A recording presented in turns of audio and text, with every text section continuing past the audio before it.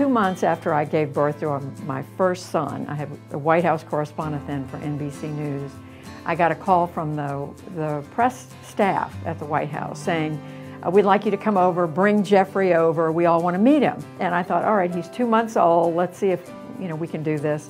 And they called my husband who worked at the Wall Street Journal then, so the three, the three of us were there.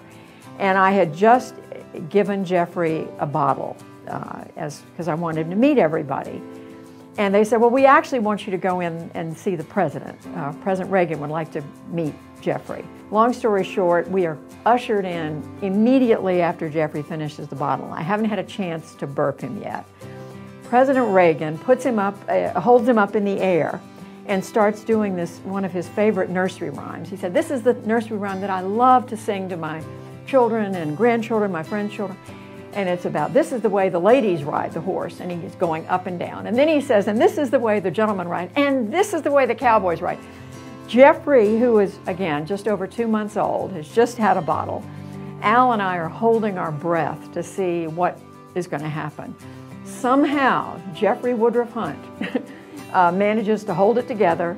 So he spent 10 whole minutes with us, asked a lot of questions about the baby, talked, reminisced about when he and Nancy, the First Lady, uh, had had their children.